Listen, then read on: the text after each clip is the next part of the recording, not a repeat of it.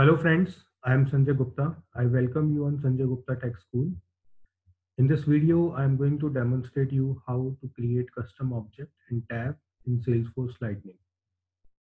Before starting, let me share you how you can search me on YouTube. You can search my name so that you can follow Salesforce related videos on my YouTube channel. So now I am logged in in Salesforce Lightning environment. So it automatically opens setup. So here you can see object manager is available. So you have to open it.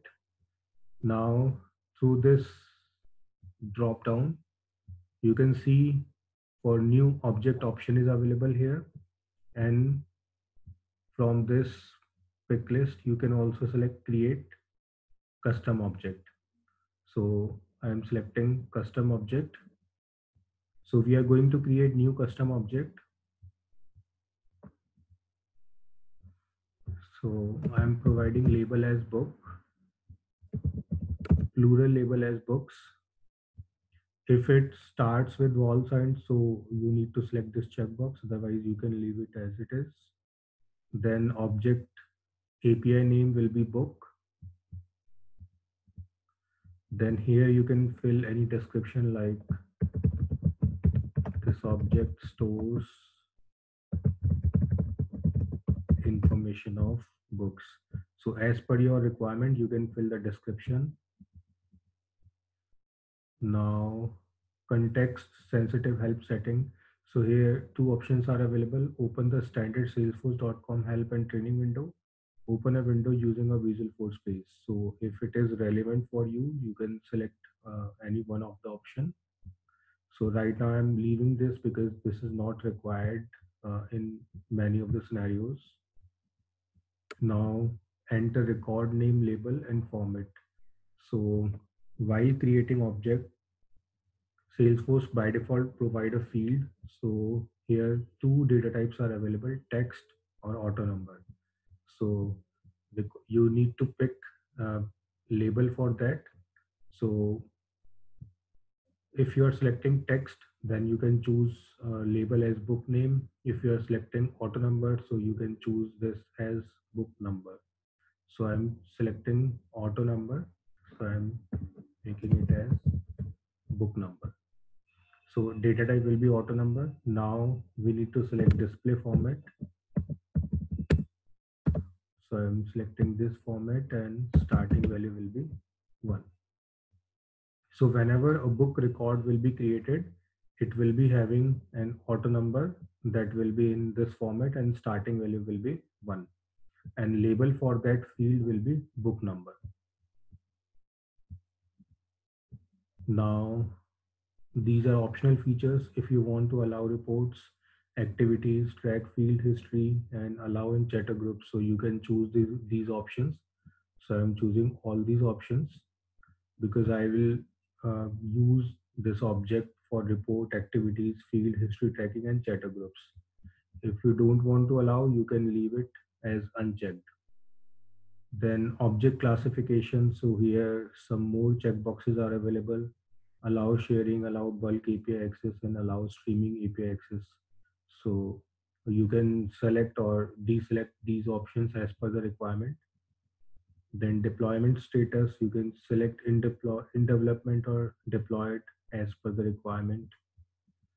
So then search status, when this setting is enabled, your users can find record of this object type when they search.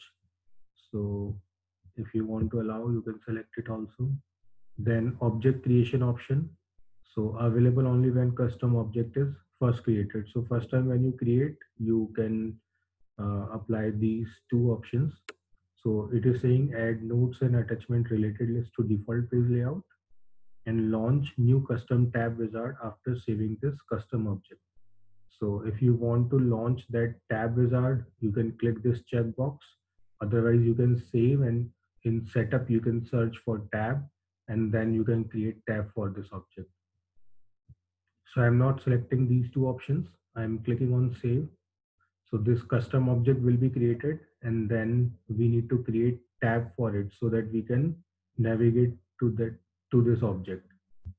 So our object is created. You can see the details. API name is book underscore underscore C.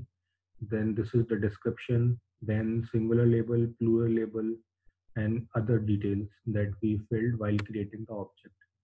Then further you can see we can create different fields, page layouts, and all other things that are available here.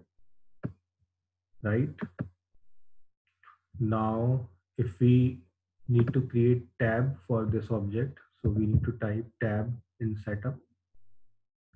Click on tabs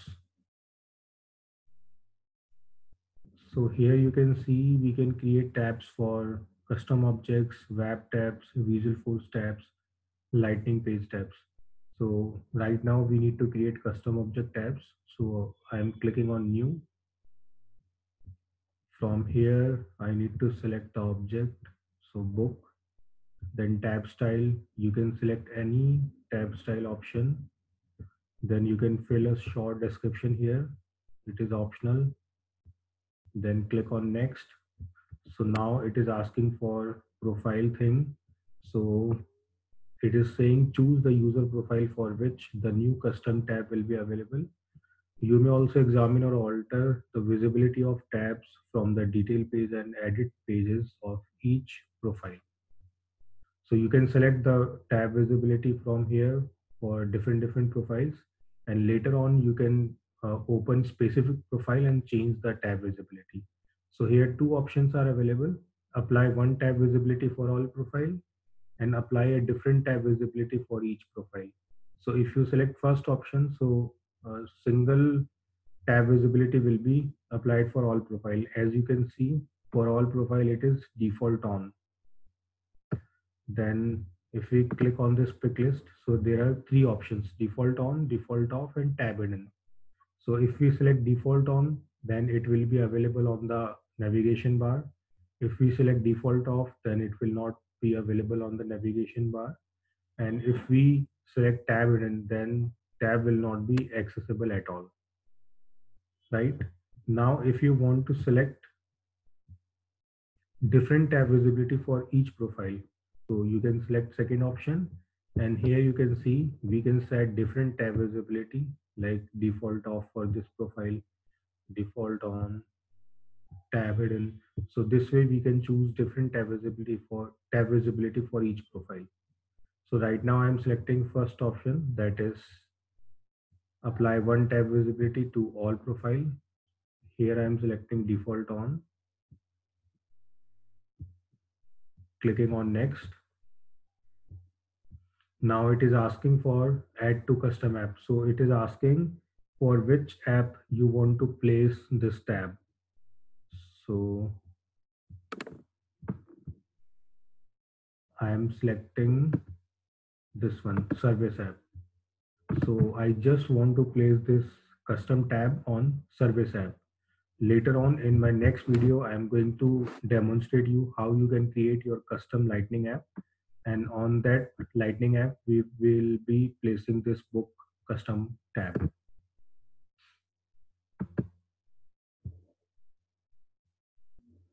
so you can see our tab is created. If you want to edit or delete you can choose these actions. Now we need to open service app so that we can view whether book tab is available. So this is service application. And here you can see book tab is available. That is related to book object. And uh, in this list view you can see book number is the only field that we created while creating the object. If we click on new so it will not show any field because we just created book number that is auto number. It will be created auto automatically. And right now we have not created any field so it is not showing any field while creating new record. So in my next videos you can see how we can create fields so that we can fill the data for books now uh, if you click on this app launcher so here also you can search for your tab like this. So if it is default off, then your tab will be available here also. So from here you can click and it will be opened. So I hope you understood how we can create custom objects and tabs in Salesforce Lightning.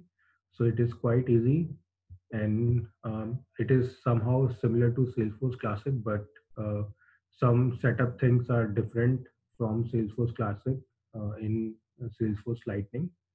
So I hope you understood whatever I demonstrated in this video. If you want to watch Salesforce related video series, you can search my name on YouTube and you will have my channel. Keep watching Salesforce related videos so that you can learn it. Thank you for watching this video.